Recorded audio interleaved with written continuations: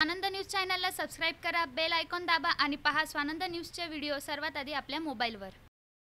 स्वानंद न्यूजच्या राज की बातमध्ये मी राज असरोणकर मी आपणा सर्वांचं स्वागत करतो. मी आज आपणासमोर सांगणार आहे तेवीस मे जगातल्या सगळ्यात मोठ्या लोकशाहीचा जो उत्सव निवडणुकीच्या माध्यमातून आपण साजरा केला त्याच्या निकालाचा दिवस आणि ह्या निकालाचे नेमके अंदाज काय असणार आहेत वेगवेगळ्या वृत्तवाहिन्यांवरून या प्रकारचे अंदाज बांधले जाणार आहेत.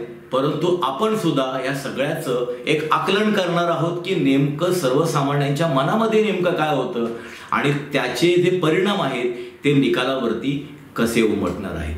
दोन हजार चौदाची निवडणूक ही भारतीय लोकशाहीच्या इतिहासामधली एक आगळीवेगळी निवडणूक ठरली आणि त्या निवडणुकीने भारतीय जनता पार्टीने नरेंद्र मोदींच्या नेतृत्वाच्या माध्यमातून जवळजवळ सगळी संसद जी आहे ती स्वीप केली होती झाडून सगळ्या जागा घेतल्या होत्या आणि एक स्पष्ट बहुमत देशामध्ये मिळवलं होतं. अर्थात ही जी मांडणी आहे ती माध्यमांची मांडणी आहे. नेमकं चित्र दोन हजार चौदाला सुद्धा काय होतं ते सुद्धा आधी आपल्याला पाहायला पाहिजे. आपल्या देशामध्ये भारत देशामध्ये एकूण छत्तीस राज्य आहेत. आणि या छत्तीस राज्यांपैकी दोनशे ब्याऐंशी जागा ज्या भारतीय जनता पार्टीने गेल्या लोकसभेमध्ये मिळवलेल्या होत्या त्या दोनशे ब्याऐंशी जागा ज्या आहेत त्या फक्त भारतातल्या दहा राज्यांमधून मिळवलेल्या होत्या. आपण जर निवडणुकांची आकडेवारी जर पाहिली तर आपल्याला असं दिसतं की ह्या दहा राज्यांमध्येच भारतीय जनता पार्टीचं प्राबल्य आहे. इतर राज्यांमध्ये भारतीय जनता पार्टीचं फारसं तितकं अस्तित्व दिसत नाही. किंवा भारतीय जनता पार्टी ही इतर मित्र पक्षांच्या सोबतीने त्यांच्या बैसाखीवर त्यांच्या कुबड्यांवरती आपल्याला ती उभी असलेली दिसते. काँग्रेस हा जो भाजपला तुल्यबळ असा एक मोठा पक्ष आपल्याकडे मानला गेला आहे त्याला फक्त चव्वेचाळीस जागांवरती समाधान मानावं लागलं होतं. आणि बहुजन समाज पार्टी हा मतदानाच्या जी टक्केवारी असते त्यानुसार तिसऱ्या नंबरचा राष्ट्रीय पक्ष जो आहे त्या बहुजन समाज पार्टीच्या शून्य जागा गेल्या लोकसभेमध्ये आलेल्या होत्या आणि त्यांच्या जवळजवळ चारशे उमेदवारांचं डिपॉझिट सुद्धा जप्त झालेलं होतं. अशा प्रकारे ही एकतर्फी सगळी निवडणूक होती. एकतर्फी निवडणूक जरी आपल्याला बरोबर दिसत असली तरी सुद्धा भारतीय जनता पार्टीला जे झालेलं जे मतदान आहे त्या मतदानाच्या तीस टक्के मतं फक्त मिळालेली होती. आणि एकूण जे मतदान आपल्याकडे मतदारांची नोंदणी आहे त्या नोंदणीच्या हिशोबाने जर आपण पाहायला गेलो वीस टक्के मतदारांनी भारतीय जनता पार्टीला आपल्याला कौल दिलेला दिसतो. मग ही सगळी जी बहुमताची जी किमी आहे ती भारतीय जनता पार्टीने नेमकी साधली कशी? हा खूप मोठा कुतूहलाचा विषय आहे. गेल्या पाच वर्षामध्ये भारतीय जनता पार्टीने ज्या पद्धतीचा मोदींच्या नेतृत्वाखाली कारभार केला तो कारभार बघता त्याचे पडसाद हे जनमानसामध्ये उमटणं हे स्वाभाविक होतं. आपण पाहिलं की मोदींनी गेल्या निवडणुकीला भरमसाठ आश्वासनं लोकांना दिली होती. आणि ती आश्वासनं ह्या पद्धतीची होती की कित्येक लोकांना असं वाटत होतं की एखादी जादूची कांडी नरेंद्र मोदी फिरवणार आहेत की काय? आणि ते संपूर्ण देशाचं एका रात्रीमध्ये भलं करणार आहेत की काय? परंतु ती आश्वासनं जी आहेत ती मोदींच्या आणि भाजपाच्या अंगलटानी असं आपल्याला गेल्या पाच वर्षामध्ये दिसतं. आपण जर पाहिलं तर गेल्या पाच वर्षामध्ये लोकसभेच्या दहा निवडणुका दहा जागांवर वेगवेगळ्या कारणांसाठी दहा जागांवर पोटनिवडणुका झाल्या. त्या सगळ्या पोटनिवडणुका भारतीय जनता पार्टी हारलेली आहे. दोनशे ब्याऐंशी जागांवरून आत्ताचा जी आत्ताची जी कारकीर्द आहे भारतीय जनता पार्टीची केंद्र सरकारची ती दोनशे ब्याऐंशी जागांवरून निवडणुका व्हायच्या आधीच दोनशे बहात्तरवरती भारतीय जनता पार्टी आलेली आहे.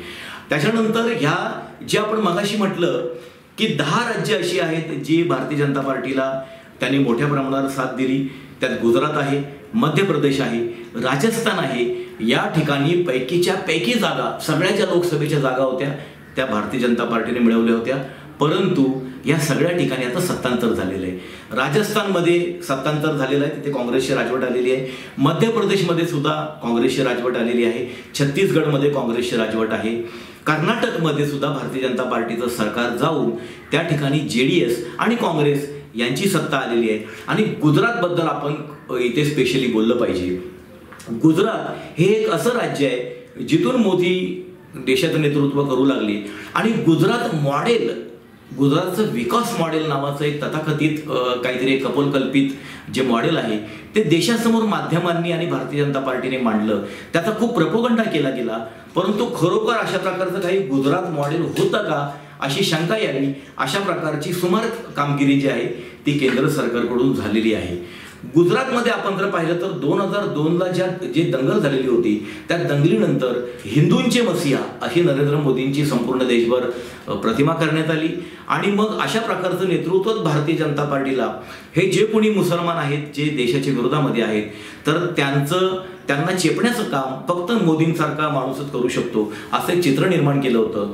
परंतु आपण पाहिलं पाहिजे की गुजरातमध्ये दोन हजार दोन साली जी दंगलीची पार्श्वभूमी होती त्या ठिकाणी भारतीय जनता पार्टीचे एकशे सत्तावीस आमदार जे निवडून आले होते ते पाच वर्षानंतर दोन हजार सातला ते एकशे सतरावर गेले दोन हजार बाराला ते एकशे पंधरावरती गेले आणि दोन हजार सतराला जेव्हा भारतामध्ये केंद्र सरकारमध्ये भारतीय जनता पार्टीची सत्ता होती नरेंद्र मोदी पंतप्रधान होते अशा वेळेला गुजरातमध्ये दोन हजार सतराच्या विधानसभा निवडणुकीत भारतीय जनता पार्टी एकशे पंधरावरून नव्याण्णववर आली. आपण जर विधानसभेतला कार जर त्यांचं जर कामगिरी पाहिली तर भारतीय जनता पार्टी आपल्याला खाली खाली खाली सरकताना दिसते. आणि त्याचबरोबर ज्या गेल्या वेळेच्या ज्या दोन हजार चौदाच्या ज्या निवडणुका आहेत त्यावेळेला काँग्रेसने जी मतं मिळवली होती लोकसभा निवडणुकीमध्ये त्या मतांच्या तुलनेमध्ये विधानसभा निवडणुकीत काँग्रेसची मतं चाळीस लाखांनी गुजरातमध्ये वाढलेली आहेत. गुजरातची जर आपण बदलती राजकीय जर परिस्थिती जर आपण पाहिली तर त्याच्यावरून आपल्याला संपूर्ण देशाचा अंदाज आपल्याला घेता येतो. आपण मगाशी पाहिलं की ज्या भारतीय जनता पार्टीच्या दोनशे ब्याऐंशी ज्या जागा होत्या त्या फक्त दहा राज्यांमधल्या होत्या. त्या दहा राज्यांपैकी मध्ये सुद्धा फक्त चार राज्यांमध्ये उत्तर प्रदेश मध्य प्रदेश राजस्थान आणि गुजरात ह्या राज्यांमध्ये केवळ भारतीय जनता पार्टीकडे दीडशे जागा होत्या. आणि त्या दीडशेपैकी केवळ उत्तर प्रदेशमध्ये एकाहत्तर जागा होत्या. याचा अर्थ स्पष्ट आहे की उत्तर प्रदेशमध्ये जर भारतीय जनता पार्टीला जर फटका पडला किंवा ह्या ज्या चार राज्यांमध्ये जर फटका पडला तर येणाऱ्या निवडणुकीमध्ये सुद्धा त्याचा जो परिणाम आहे तो ह्या निवडणुकीमध्ये सुद्धा आपल्याला दोन हजार एकोणीसच्या निवडणुकीत दिसून येणार आहे. उत्तर प्रदेशमधली राजकीय परिस्थिती बदललेली आहे. गेल्या वेळेला काँग्रेस समाजवादी पार्टी बहुजन समाजवादी पार्टी हे सगळे वेगवेगळे लढलेले होते आपसामध्ये लढत होते. त्याचा पुरेपूर फायदा त्या ठिकाणी भारतीय जनता पार्टीला झाला. सगळ्यात महत्वाची गोष्ट म्हणजे नोटाबंदीच्या नंतरची उत्तर प्रदेशची निवडणूक होती. आपण जर राजकारणामध्ये निवडणुकीमधलं जर एक सत्य जर तपासलं तर मोठ्या प्रमाणावरती पैसा हा निवडणुकांमध्ये खर्च केला जातो राजकीय पक्षांकडून. नोटाबंदीच्या माध्यमातून भारतीय जनता पार्टीने विरोधकांची सगळ्यात पहिली कोंडी तिथे केली. उत्तर प्रदेशच्या निवडणुकांच्या पार्श्वभूमीवर नोटाबंदी करण्याचं कारण हे उत्तर प्रदेशची निवडणूक हे सुद्धा होतं. त्या ठिकाणी ती भारतीय जनता पार्टी सफल झाली. नोटाबंदीच्या माध्यमातून एक आर्थिक नाकेबंदी केल्याचा मोठा परिणाम तिथे दिसून आला भारतीय जनता पार्टीने. अगदी एकतर्फा ती निवडणूक जिंकली. परंतु आता सपा आणि बसपा हे दोन मजबूत जे पक्ष आहेत राजकीय दृष्ट्या ते एकत्र झालेले आहेत आणि त्यांनी फार चांगल्या प्रकारचं ट्युनिंग तिथे जागा वाटपांमध्ये केलेलं आहे. त्या ठिकाणी काँग्रेस जरी आपल्याला वेगळी लढत असताना दिसत असली तरी पडद्याच्या पाठीमागे कुठेतरी सपा आणि बसपा बरोबर त्यांचं ट्युनिंग आहे की काय? अशा प्रकारची उमेदवार निवडीमध्ये आणि उमेदवार देण्यामध्ये ह्या तीन पक्षांचं प्रमुख पक्षांचं एक आपसामध्ये जे काही गणित असतं बनलेलं ते तिथे आपल्याला दिसतंय. त्यानंतर सेम परिस्थिती ही मध्य प्रदेश आणि राजस्थानमध्ये आहे. मध्य प्रदेश आणि राजस्थानमध्ये आणि छत्तीसगडमध्ये. काँग्रेसचं सरकार आलेलं आहे. कर्नाटकमध्ये काँग्रेसचं सरकार आलेलं आहे. त्यामुळे आता तिथली जी स्थानिक जी काही सुरक्षा व्यवस्था असते ती आपल्या फेवरमध्ये वापरणं भारतीय जनता पार्टीला कठीण जाणार आहे. आणि सत्तेचा एक फायदा काँग्रेसला पडणार आहे. पूर्वीच्या वेळेला जे पैकीच्या पैकी मार्क ज्या परीक्षांमध्ये निवडणुकांच्या भारतीय जनता पार्टीने मिळवले होते ते आता मिळवणं कठीण जाणार आहे. कारण कॉपीला मोठा कॉपीला तिथे एक काट पडणार आहे. कॉपीला पायबंद होणार आहे आणि त्यामुळे ती परीक्षा तिथली सुद्धा भारतीय जनता पार्टीला कठीण जाणार आहे. आपण जर दक्षिणेकडे जर पाहिलं तर दक्षिणेकडे भारतीय जनता पार्टी ही मजबूत कधीच नव्हती. एक कर्नाटक सोडलं तर कर्नाटकच्या नंतर आपण जर पुढे गेलो तर त्या ठिकाणी तामिळनाडू आणि केरळमधली जी परिस्थिती आहे त्याला एक सांस्कृतिक पार्श्वभूमी आहे आणि त्या सांस्कृतिक पार्श्वभूमीमुळे त्या भागांमध्ये भारतीय जनता पार्टीसारखा जो जातीवाद खेळणारा जो पक्ष आहे तो त्या ठिकाणी त्याला थारा दिला जात नाही साऊथमध्ये आणि त्यामुळे त्या ठिकाणी भारतीय जनता पार्टीचं अस्तित्व आपल्याला दिसत नाही. सध्या तामिळनाडूमध्ये भारतीय जनता पार्टीचा शून्य खासदार आहेत आणि केरळमध्ये मला असं वाटतं की फक्त एक खासदार केरळमध्ये आहे. एवढी तिथे दारुण परिस्थिती आहे. पश्चिम बंगालमध्ये जे आमदार आहेत तिथे दोनशे त्र्याण्णव आमदारांमध्ये भारतीय जनता पार्टीचे फक्त तीन आमदार आहेत. त्यामुळे आपण बघतोय की सध्याच्या काळामध्ये इकडच्या जी फेवरवाली जी राज्य आहेत तिथे धोका होईल अशी शक्यता असल्यामुळे भारतीय जनता पार्टीने सगळा जो जोर आहे तो पश्चिम बंगाल केरळ जिथे आपलं फार तिथे स्थान नाही आहे अशा ठिकाणी त्यांनी जोर दिलेला आहे. त्या ठिकाणी जातीय कार्ड जे आहे धर्माचं कार्ड जे आहे ते खूप मोठ्या प्रमाणे आणि अत्यंत श्रूडली भारतीय जनता पार्टी तिथे वापरताना आपल्याला दिसते. त्या राज्यांमधलं वातावरण पेटवताना दिसते. परंतु असं असलं तरी केरळ आणि पश्चिम बंगालमधली जी सत्ता आहे त्या सत्तेने केरळमध्ये कम्युनिस्ट आहेत आणि पश्चिम बंगालमध्ये तृणमूल काँग्रेस आहे. त्यांनी भारतीय जनता पार्टीला तिथं रोखलेलं आपल्याला दिसतं. तिथे भारतीय जनता पार्टीची जी एकंदरीत जी केंद्रातल्या सत्तेचा दुरुपयोग करून चालणारी जी दादागिरी आहे ती तिथे आपल्याला चालताना दिसत नाहीये. तर आपण पूर्वोत्तर राज्यांकडे जर पाहिलं तर पूर्वोत्तर राज्यांमध्ये सुद्धा भारतीय जनता पार्टीचे जे सहकारी पक्ष आहेत ते आता एक एक एक एक करून तशी नाव बुडायला लागते तसे पक्ष आपल्याला माहिती आहे की नावेतून आधी सगळी माणसं बाहेर पडतात उड्या मारतात. तर तशा पद्धतीने भारतीय जनता पार्टीचे जे सहकारी पक्ष आहेत तर ते सुद्धा आता बाहेर पडायला लागलेले आहेत.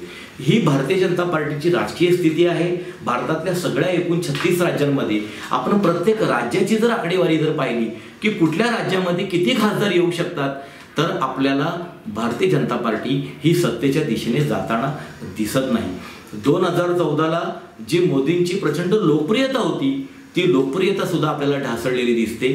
मनमोहन सिंग यांची पंतप्रधान म्हणून जेवढी टिंगलटावाळी झाली ती ह्या देशाच्या इतिहासामध्ये कधीच झाली नव्हती असं लोकांना वाटत होतं. परंतु त्यानंतर नरेंद्र मोदींची जी टिंगलटावाळी झाली नरेंद्र मोदींवर तिची कार्टून्स आणि एकूणच सगळ्या ज्या समाज माध्यमांमध्ये ज्या पोस्ट आल्या त्यांची चेष्टा करणाऱ्या तर ते जर बघितलं तर नरेंद्र मोदींनी मनमोहन सिंग यांच्या झालेल्या टिंगल टवाळीचा सुद्धा रेकॉर्ड मोडलेला आपल्याला दिसतोय. त्यानंतर मोदींची आणि त्यांच्या सहकारी पक्षांची जी वक्तव्य आहेत ती वक्तव्य ही त्यांच्या समर्थकांना सुद्धा कोड्यामध्ये टाकणारी आहेत. नाल्यातून गॅस येतो, त्याच्यावरती चहा बनतो. कोई चाय का ठेला लेकर के खड़ा रहता था, चाय बना करके बेचता था। अब कोई चाय बनाने की बात आती है तो मेरा ध्यान जरा जल्दी जाता है।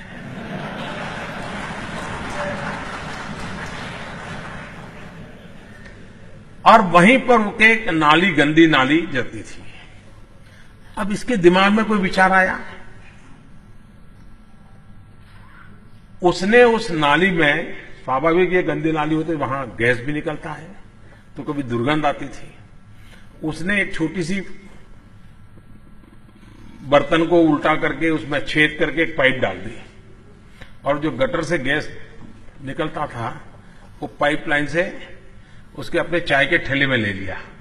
और वो चाय बनाने के लिए उसी गैस का उपयोग कर करके चाय बनाता था। सिंपल सी टेक्नोलॉजी। यानी कैसे उपयोग होता है? वैसे चाय वालों का काम ये ज़्यादा ज़्यादा रहता है। त्यांचा अलीकडे केलेला अठ्ठ्याऐंशीला मी डिजिटल कॅमेरा वापरला होता. शायद देश में शायद शायद क्योंकि कोई हो सकता है मुझे मालूम नहीं। मैंने पहली बार डिजिटल कैमरा का उपयोग किया था। 87 88 में शायद। और उस समय बहुत कम लोगों का ईमेल रहता था। तो मेरे यहाँ विरमगाम तहसील में अडवाणी जी की सभा थी।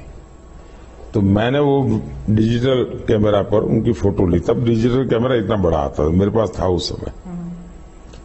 मैंने फ़ोटो निकाली और मैंने दिल्ली को ट्रा, ट्रांसमिट की। और दूसरे दिन कलर फ़ोटो छपी। तो अडवाणी जी को बड़ा सरप्राइज़ हुआ कि दिल्ली में मेरी कलर फ़ोटो आज की आज कैसे छपी। प्लॅस्टिक सर्जरी झालेली होती। किसी समय क्या था? महाभारत में कर्ण की कथा आती है। हम सब कर्ण के विषय में महाभारत में पढ़ते हैं। लेकिन कभी हमने थोड़ा सा और सोचना शुरू करें तो ध्यान में आएगा कि महाभारत का कहना है कि कर्ण माँ की गोद से पैदा नहीं हुआ था। इसका मतलब यह हुआ कि उस समय जीनेटिक साइंस मौजूद था।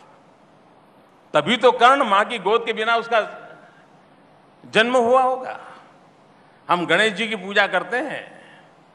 कोई तो प्लास्टिक सर्जन होगा उस जमाने में, जिसने मनुष्य के शरीर पर हाथी का सर रख करके प्लास्टिक सर्जरी की प्रारंभ किया होगा। इस प्रकार की बचकाना बातें, किसी के गले नहीं उतरती, लोग मज़ाक उड़ाते हैं।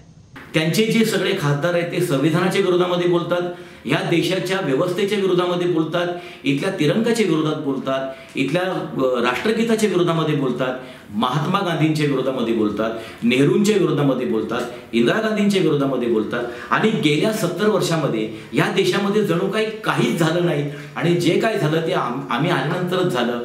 हा भारतीय जनता पार्टीचा दावा भारतीयांना फारसा रुचलेला दिसत नाही आहे आता तो चेष्टेचा विषय झालेला आहे.